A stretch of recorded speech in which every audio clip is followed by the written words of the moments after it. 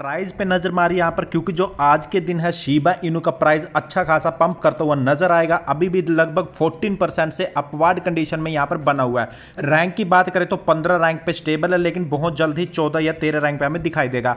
सबसे पहले तो मैं आपको प्राइस का चार्ट यहाँ पर दिखा देता हूँ। देख सकते हैं आप सुबह से ही किस तरह प्राइस में चेंज देखने को मिला, और एकदम से अब जो प्राइस का ग्राफ है, वो एकदम से बढ़ गया, और प्राइस भी एकदम से अचानक से ही बढ़ गया। अब इसका कारण बताऊँगा भाई, ऐसा क्यों हुआ?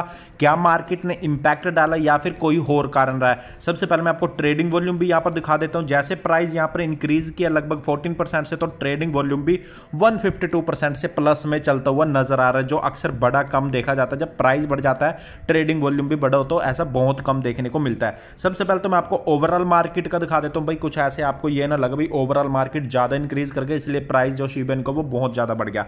तो ओवरऑल मार्केट मात्र लगभग चार परसेंट से सिर्फ़ इंक्रीमेंट पे है। थ्री परसेंट से एग्जैक्ट यहाँ पर। और बिटकॉइन और इथेरियम भी आपको दिखा देते हो देखिए बिटकॉइन 2.32 परसेंट से इथेरियम भी 2.39 परसेंट से। यानी जो टोटल ओवरऑल मार्केट है, उसका इंपैक्ट पड़ा है, थोड़ा बहुत पड़ा, लेकिन इतना ज़्यादा नहीं पड़ा है। अब मेन कारण क्या है भाई? प्राइस में एकदम उछाल देखने को क्यों मिला? तो उसके सीधे सीधे यहाँ पर दो करना है। सबसे पहला है यूएस बेस्ड लॉजिस्टिक फर्म जी हाँ गाय शीबा इनू को एक्सेप्ट कर लिया गया है यूएस की बेसिक लॉजिस्टिक फर्म में। अभी पूरा डिटेल से इसको जानेंगे। और जो ये पार्टनरशिप किया है, ये हुई है बिट पे के थ्रू ऑलरेडी मैंने बताया हुआ भाई बिट पे क्या चीज़ है, किस तरह से वर्क करती है।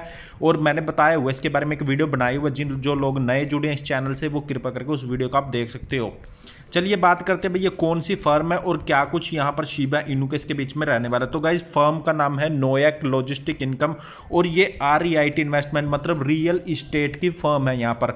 और कल परसों भी मैंने एक वीडियो बनाया था, उसके बीच में भी आपने देखा था भाई रियल इस्टेट से बहुत सी फर्म अब शिबा इनू को, डोज कोइन को मतलब मेम टोकन कोइन को एक्सेप्ट कर रहे हैं by the help of BitPay की मदद से यहाँ पर। तो सेम वे में अब यहाँ पर एक और नई फर्म नई जुड़ चुकी है नोयाक जिन्होंने शिबा इनू को एक्सेप्ट किया और साथ के साथ इन्होंने डोज कोइन को भी एक्सेप्ट किया है यहाँ पर और सपोर्ट कौन कर रहे हैं इनकी बिट पे। अब इसके बाद प्राइस में आपने चेंज देखा भाई, इनके कारण प्राइस में क्या चेंज देखने को मिला? और दूसरी चीज़ यूएस की है यहाँ पर तो यूएस की जो रिपोर्ट आई है टॉप टेन ट्रेंडिंग कोइंस के बीच में, यानी 12 मार्च से 18 मार्च की, उसके बीच में भी आप देख सकते हो शीबा इनू लाई कर रहा है सेवंथ रैंक के ऊपर। 12 बिलियन डॉलर मार्केट कैप के साथ यहाँ पर।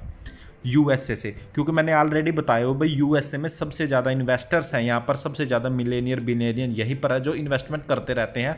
बेसिक वो मेम टोकन कोइन हो या बेसिक हमारे किंग कोइन्स हो, उनके बारे में। नेक्स्ट दूसरी मेन जो न्यूज़ निकल के आ रही है, वो आ रही है बर्निंग से लेके। क्योंकि इसी दिन, आज के ही दिन बर्निंग के बाद ये प्राइस में इंपैक्ट देखने को मिला। और जो बर्निंग हुई है, वो है वन मिलियन शीबा इनू टोकन्स की।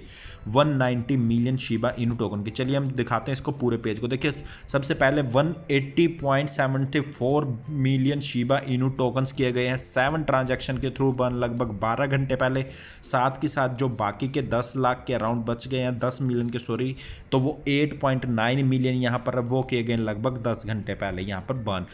एक ट्रांजैक्शन के थ्रू यानी लगभग दोनों को मिला के अगर ओवरऑल देखा जाए तो वो बन जाते हैं 190 मिलियन शीबा इनू टोकन तो इसका भी कहीं ना कहीं प्राइस पे चेंज देखने को मिले इसी कारण है जो प्राइस में पंप देखने को मिल रहा है हमें।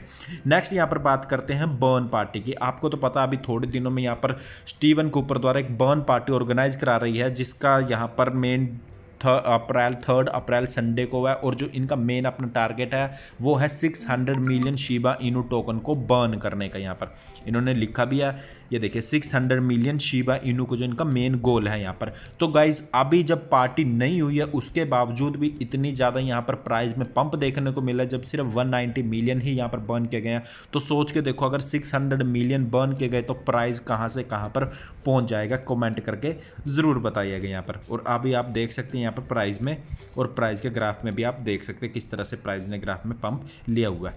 लेकिन अब यहाँ पर मेन चीज़ आती है जो होल्डर्स है, अगर वो थोड़ा सब्र करें पेशेंस करें, वो सेल ना करें तो प्राइस और ज़्यादा बढ़ता हुआ नज़र आ सकता है। लेकिन अगर वो सेल आउट करना स्टार्ट कर दे अपना इंस्टेंट प्रॉफिट बुक करने के लिए तो शायद मे भी प्राइस फिर से माइनस में चला जा सकता है।